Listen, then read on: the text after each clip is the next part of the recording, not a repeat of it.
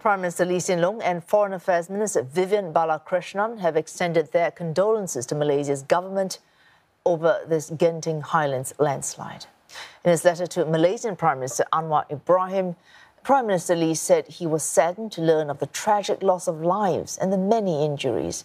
He also thanked Malaysia for assisting the three Singaporeans affected by the landslide and said the Singapore, Singapore Civil Defence Force stands ready to assist in search and rescue efforts if necessary. Dr. Balakrishnan also extended his sympathies to his Malaysian counterpart, Malaysia's Foreign Affairs Minister Zambry Abdul Kadir, and to the victims and their families. He also thanked Malaysia for helping the survivors from Singapore.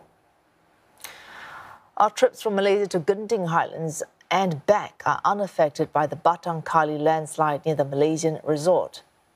Tour operators here say buses usually ply the Karak Highway via Genting Sempah to Genting Highlands.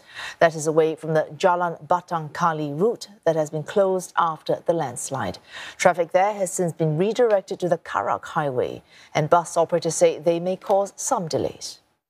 But uh, after we explain to them that we are using the different way, and actually they can accept, and then they will continue the tour. I think they will have uh, some delay, but maybe just the timing will be maybe 30 minutes time more if our journey um, will not be affected our the whole journey. Tour operators added that the Batang Kali route is usually used by local travelers moving between Malaysian cities. More than 10 tour companies in Singapore have buses making daily round trips to Genting Highlands. For private hires and taxis, business is as usual as well. One such firm says it has a fleet of 30 private hire cars traveling to Genting on Friday. Two have arrived safely in the morning.